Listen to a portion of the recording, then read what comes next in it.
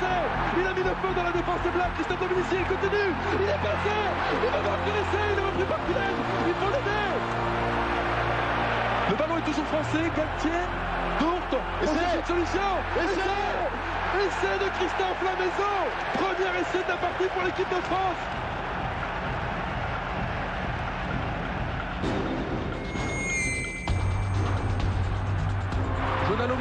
Jonalomou, Jonalomou, l'arbitre laisse euh, l'avantage. Jonalomou face à Milou Tamak, Lomou, il faut l'arrêter.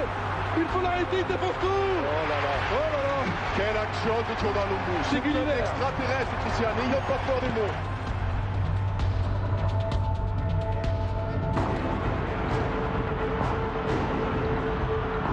Attention Lomou. Oh là là, il se balade. Gulliver se balade. Proche. Essai. Essai néo-zélandais. C'est un monstre, Christian, c'est un monstre.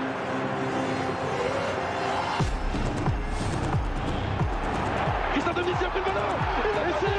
Défoncé. Essai de Christophe Dominici, c'est un génie. Essai Extraordinaire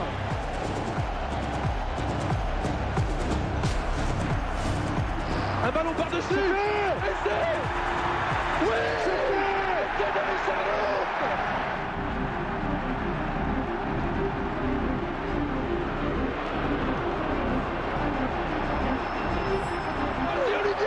Attention retour de Vas-y Olivier Il a Bernard avec lui Il va peut-être marquer C'est Philippe Bernard. Et c'est C'est fabuleux Et c'est fini C'est fini Bernard 43-31 La France est en finale.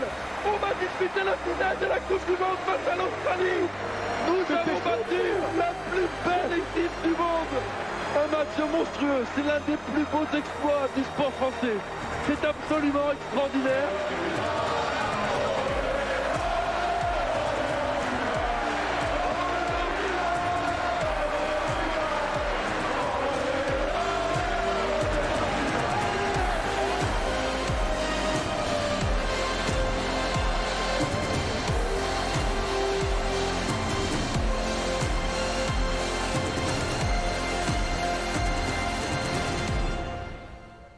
Incroyable vidéo qui nous a fait repartir 20 ans en arrière. À un moment incroyable. Et on a beaucoup de chance ce soir parce qu'une grande partie de l'équipe est présente avec nous. Je vais les appeler. Je vais nommer tous ceux qui ont pris part à ce match incroyable.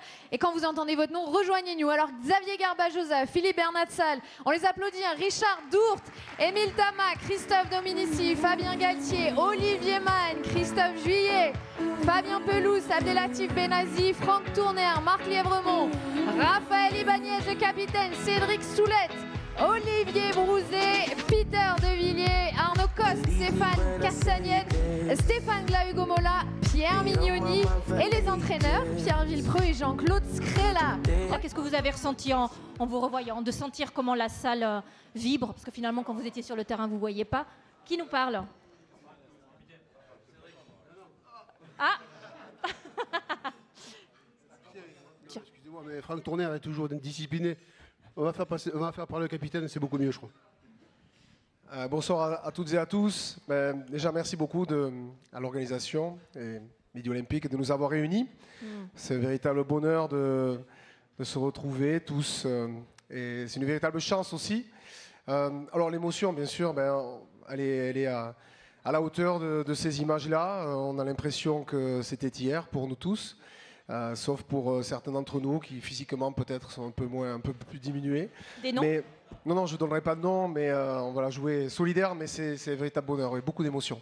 Est-ce que c'est vrai qu'il y a vraiment eu un, un déclic euh, pendant la troisième mi-temps après le quart de finale? C'était la troisième mi-temps et apparemment, il y a une anecdote et vous avez compris que vous alliez devoir être soudés. Il y a quelqu'un qui nous la raconte? Ah. Ah ben ouais, Richard. En fait, euh, ce qui nous a sauvés, c'est de jouer l'Argentine en Irlande, parce que le barrage euh, après les poules, c'était Irlande-Argentine, et on devait affronter l'Irlande à Dublin normalement. Tout le monde disait que c'était euh, les Irlandais qui allaient gagner. Et la première chose, ça avait été ça. D'abord, de, jouer contre l'Argentine, c'était un point en moins. Et puis après, vous savez, on fait partie, pas mal de joueurs. Moi, j'ai eu une, assez longue carrière, j'ai eu la chance de démarrer très jeune, de finir un peu plus jeune sur, sur le- les choix de sélectionneurs ici présents, que je nommerai pas. Euh, mais en fait, euh, on a connu la première, la deuxième et surtout la troisième. Et après, euh, l'Argentine, on s'est tous retrouvés entre nous dans la, salle. dans, la salle de restaurant qu'on avait et, et finalement on est allé chercher de la musique, bien sûr quelques bières avec modération ou pas.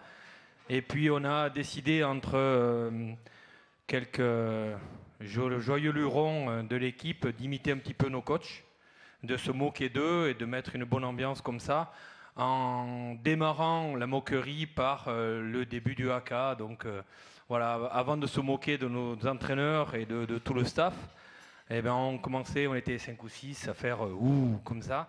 Et puis, et puis ça a démarré une, une cohésion encore plus importante qu'on avait déjà établie un petit peu avant, ce qui nous a fait permis de, ben, de faire ce match-là. Et après ce match-là, on était persuadés d'être euh, champion du monde. Malheureusement, Georges Gregan et, et ses amis euh, nous en ont empêchés. Fabien Pelous, euh, oh, tu voulais continuer, pardon Donc voilà, voilà, voilà l'anecdote, c'est tout. Fabien, Donc on avait rarement vu une équipe euh, demi-finaliste préparer une demi-finale comme ça, je pense. est-ce que euh, 20 ans plus tard, avec le recul, vous vous êtes rendu compte que vous avez marqué une génération dont je fais partie, euh, en vous ayant regardé la télé, d'avoir marqué une génération qui a apprécié le rugby grâce à ce match euh, et qui est restée vraiment euh, profondément, qui a marqué euh, le rugby français? Ben, je, crois- qu'on a eu la chance d'être une génération qui a euh, grandi au rugby amateur et qui euh, a, pu se développer en tant que... euh, on est rentré dans un métier ensuite de, de, de rugbyman professionnel. Donc on a cette double, euh, double avantage d'avoir connu les deux rugby en fait et de se nourrir finalement de, de ce qu'est le rugby amateur, la relation entre les hommes et finalement de pouvoir l'exercer ensuite euh, en, tant que métier. Donc je crois qu'on a eu la chance d'avoir le privilège euh, ben, d'avoir vécu cette période-là tout simplement. Et, euh, je crois qu'on on, on a était une équipe qui dégageait de l'émotion parce que l'émotion, elle était entre nous.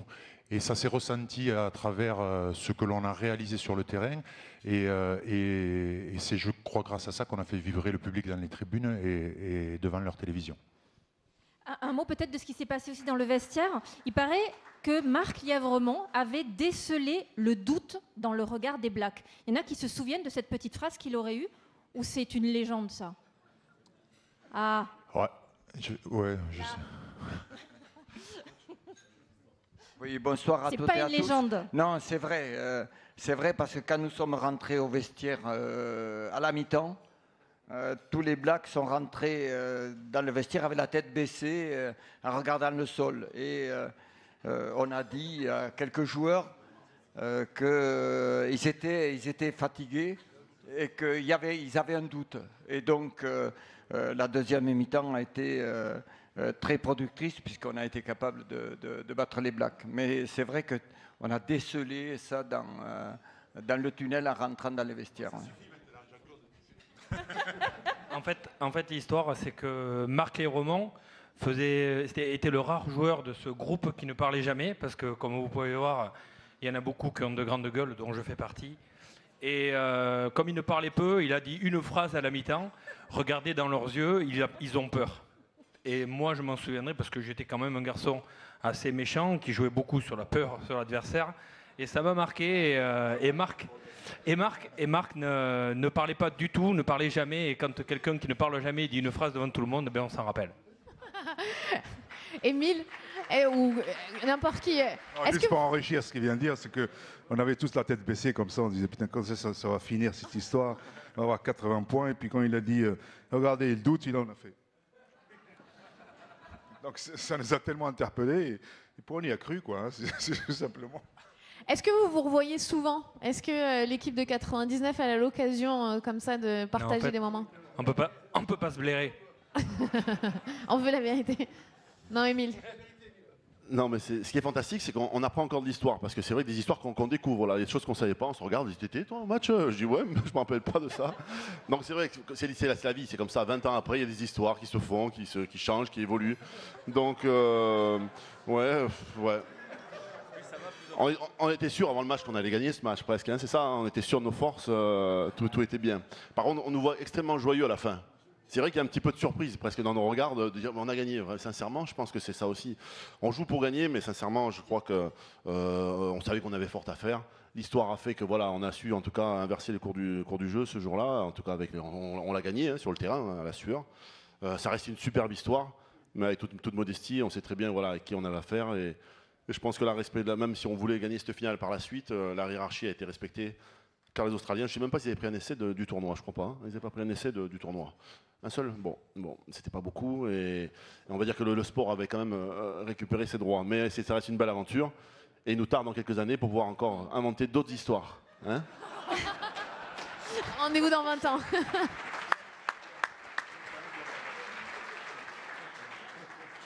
On va vous remettre peut-être vos trophées parce que vous, vous nous avez offert des beaux souvenirs, mais on a un souvenir, nous, à vous offrir de, de cette soirée que vous allez pouvoir euh, emporter et poser aussi pour, euh, pour les photographes. Nous aussi, on a une petite surprise. On va donner le micro à Stan et on va vous souhaiter une bonne soirée. Allez-y. Alors croyez-moi, c'est pas un cadeau de les avoir comme amis, parce que pour dire la vérité, on ne se voit pas souvent, et je pense que même c'est le débat de la soirée. On ne sait pas si on est égoïste ou si on est vraiment trop occupé. Alors c'est le débat, il est là. On joue sur les mots, on se dit la vérité. Je crois franchement qu'on est un peu les deux, mais qu'on devrait quand même essayer de se pencher et se regarder pour marquer le temps. Et alors 20 ans, c'est un rendez-vous incroyable, mais des rendez-vous à 20 ans, on n'en aura plus beaucoup. Et sachez une chose, que si on ne sort pas de ce séjour, et on remercie évidemment le milieu olympique, M. Bailey, euh, M. Ostric, de nous avoir invités, euh, parce qu'on est très heureux d'avoir ce prétexte, parce que ça ne vient pas de nous, ça vient du olympique et de sa direction. Merci à vous. Mais on est vraiment des gros couillons. Sachez-le. On ne le dit pas ouvertement, on joue sur les mots, chacun raconte sa connerie, mais personne ne parle de lui. On est tous des gros couillons. La vie passe à une vitesse folle. On a des choses à se dire. On se croit un peu différent, un peu dans nos univers. Certains sont occupés.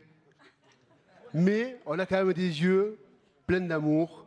Sachez-le, n'en doutez pas. Je suis heureux, moi, d'être là parce que c'est une chance. La vie est fragile. Si j'ai pas mon ami Christian, de 30 ans, plus de 30 ans, qui file un coup de, de tronche contre Fidji, je ne joue jamais. Il ne me sélectionne pas. Je vis un moment historique. hein. Je suis face à vous. J'ai mes amis à côté. La vie est belle. hein. Ça tient à rien. Mais par contre, l'avenir nous appartient. Et on doit s'organiser.